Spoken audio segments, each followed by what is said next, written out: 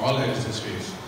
Should we protect our sources or not? And our default position is, of course, we will.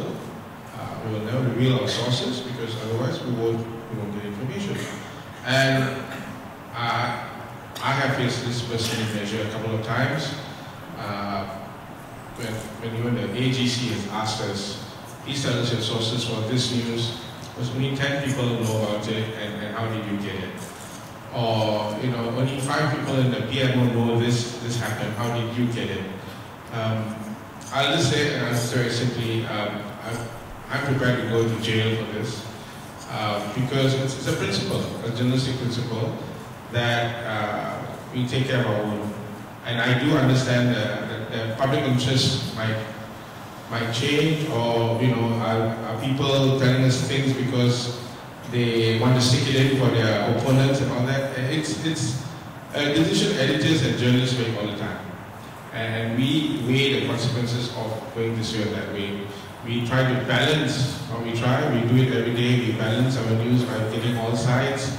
There are times when they won't tell us or they won't respond to what we say are revelations from, from a source or from uh, from our sources here um, for, for journalists, trust is really important. It's, it's, it's a major pillar of uh, journalism.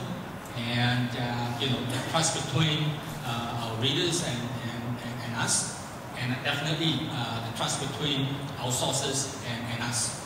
Um, and if we, um, uh, you know, given our word, that we're not going to reveal your identity for the information that you're going to give us um, because of the fact that, you know, they worry about the jobs, uh, sometimes even, you know, the, um, uh, worry about, uh, you know, the, their, personal security and all that.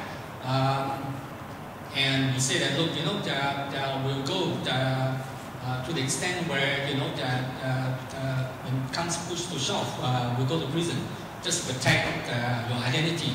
Um, um, only then, I think, you know, you will have um, sources out there, uh, whistleblowers and all that, willing to talk to you uh, because they are assured that uh, that their identity, their identity will not be revealed.